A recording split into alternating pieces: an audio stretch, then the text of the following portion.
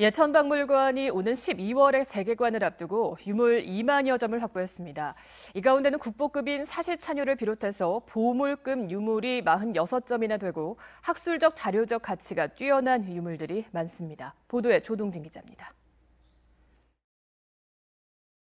24절기 농업기술을 서술한 농업서적 사시찬요입니다. 이 책은 당나라 때 만들어져 지금까지 우리나라에서는 목판 인쇄로만 전해져 왔습니다. 지난 2017년 목판 인쇄보다 200년 앞선 15세기 초의 조선시대 최초의 금속 활자인 개미자로 인쇄된 사시찬요가 예천에서 발견되자 전문가들은 국보급으로 인정하고 있습니다.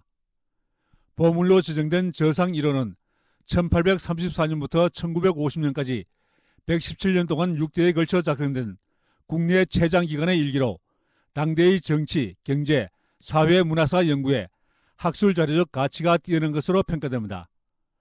윤탕심 목패, 국내에서 확인된 호패 가운데 가장 일찍 제작된 것으로 조선시대 호패법 시행과 17세기 사회상을 이해하는 기중한 자료입니다.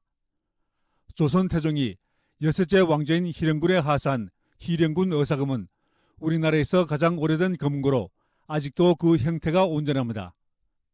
예천박물관에는 보물 46점과 도지적 문화재 24점 등 총 70점의 지적 문화재를 비롯해서 유협배와 동국통지 등 문화재적 가치가 뛰어난 문화재가 대단히 많습니다.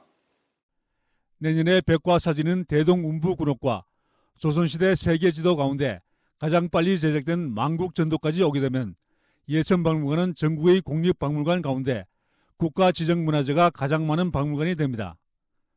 예천군은 앞으로 유물의 학술 연구에 나서고 상설 또는 특별 전시와 교육 등을 통해 지역의 뛰어난 문화자산을 알려나갈 계획입니다. 2017년 리모델링에 나선 예천 박물관은 유물 자료 확충과 전시물 제작 설치를 마치고 오는 12월 재개관합니다. MBC 뉴스 조동진입니다.